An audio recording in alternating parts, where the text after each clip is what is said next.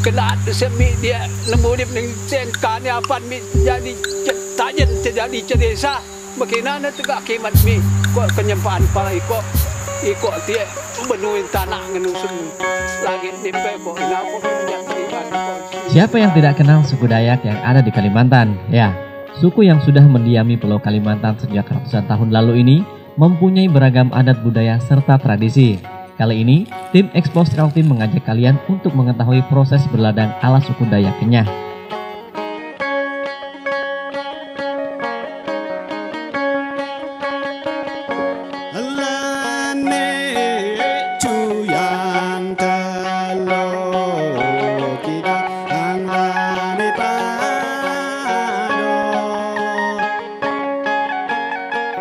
Berlokasi di Jalan Poro Sangata Bontang kilometer 10, Desa Sangata Selatan, Kabupaten Kutai Timur, di sana terdapat sebuah dusun yang didiami oleh suku Dayak Kenyah, yakni Dusun Rindang Benua.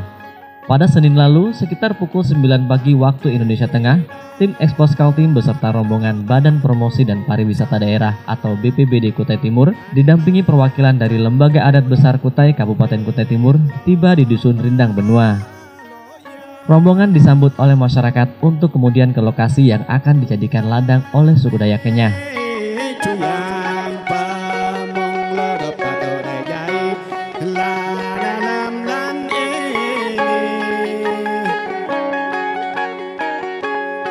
Sekitar 8 km dari perkampungan, rombongan tiba di lokasi ladang. Di sana, puluhan masyarakat Dayak Kenyah tengah bersiap untuk membuka lahan dan dijadikan ladang pertanian yang rencananya akan ditanami padi gunung. Padi gunung sendiri merupakan tanaman yang turun-temurun ditanam sejak nenek moyang mereka. Nantinya, selain untuk dikonsumsi masyarakat, sebagian hasil panen tersebut juga akan disimpan untuk dijadikan lumbung padi oleh masyarakat adat. Jadi itu intinya pembukaan lahan itu biasanya kalau umumnya di sini dibilang itu ladang umum, tapi intinya itu adalah bengkok dusun. Jadi bengkok dusun kalau di Jawa kan bengkok desa. Misalkan kalau di desa kan jadi itu selalu di mana-mana selalu ada karena tujuan kita membuka lahan itu begitu ada kegiatan apa segala jadi itu bisa dari hasil panen itu bisa kita uh, mendapatkan istilahnya menyediakan segala sesuatunya baik itu nanti hasil panen untuk menjamu para tamu-tamu dan sebagainya. Itu salah satu tujuan kita buka lahan artinya bisa mendapatkan hasil panen yang bagus dari bengkok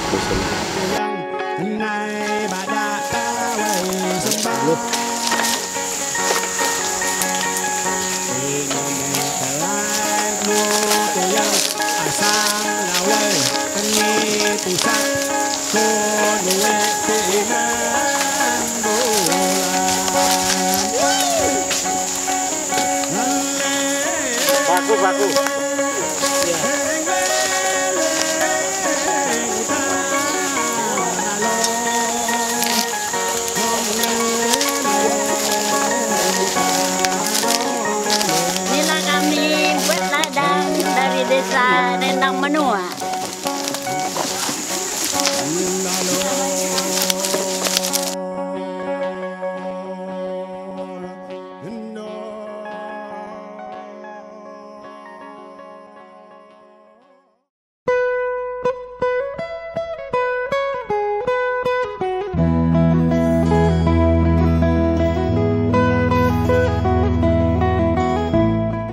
Sebelum dilakukan pembukaan lahan untuk ladang, kepala adat setempat melakukan ritual yang bertujuan untuk memohon izin dan doa restu kepada leluhur dan Tuhan Yang Maha Esa. Lur titi dereng kita kepala ubah ubah dari yang pipi lu cak kubek maksud tempat kan dengan aw ni di tempat ngelad se tempat kayak ide ini dan dana su bendulu rumah. Cenak deh nah semik kemenyak tanah jemeng tanah bilang ni. Kok ini ya Tuhan tak ding mi ku yang rumah semai ubah kena lebih mi dik tanah kini ne do mi ubah ke? Menyat penikah di ko ini kawit kopin kawit yang ini do ke ngawit tempat ngawit penikah pak bek kat Surabaya tanah dipa pak kat Samarinda pi di kedai abek TNK na pedo mi patu bak kejadi di desa budaya makin apa do mi ubah kejadi di desa wisata? Pa mi ketika desa ya de penitip ina dan do pengenyat mi kepenyat penikah tegak kenui tempat di lekak di tanah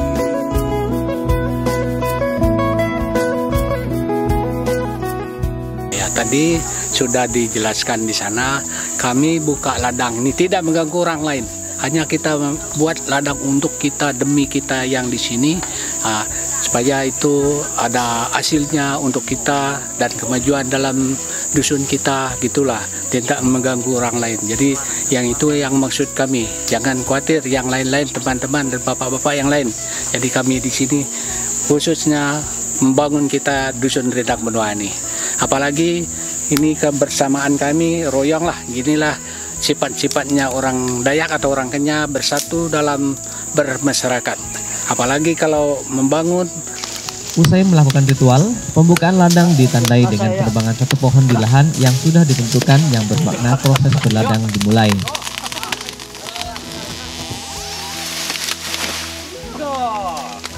Orang tua, anak-anak, hingga ibu-ibu turut andil dalam pembuatan ladang tersebut. Mereka bergotong royong dalam kebersamaan membuat ladang untuk dijadikan lumbung makanan masyarakat Dayak Kenyah. Pembukaan lahan dilakukan di area yang jauh dari habitat hewan hutan agar tidak mengganggu kelestarian di kawasan tersebut. Selain bertani, sebagian besar anak muda masyarakat setempat juga gemar melakukan olahraga serta turut andil dalam membangun dunia pendidikan di dusun tersebut. pembukaan lahan itu kita memang setiap tahun kita adakan uh, seperti ini karena untuk membantu masyarakat kita yang kurang mampu. Misalnya ada yang sakit mendadak atau ada yang dapat uh, berita duka dari jauh dari kampung asal, itulah kita manfaatkan hasil-hasil ladang adat ini atau ladang umum. Kita juga bergerak di bidang pendidikan untuk membangun pendidikan anak-anak. Kebetulan tadi pagi saya meresmikan uh, TK atau PAUD di tempat ini itu hasil dari karya Karang Taruna. Bengkok dusun atau ladang umum tersebut nantinya juga akan digunakan sebagai lumbung cadangan makanan yang akan digunakan ketika ada perayaan atau ada masyarakatnya yang kekurangan. Inilah salah satu tradisi dan budaya Indonesia yang selalu mengedepankan kebersamaan dan gotong royong dan harus selalu kita jaga dan lestarikan. Dari Sangatta, Kalimantan Timur, Expos TV melaporkan.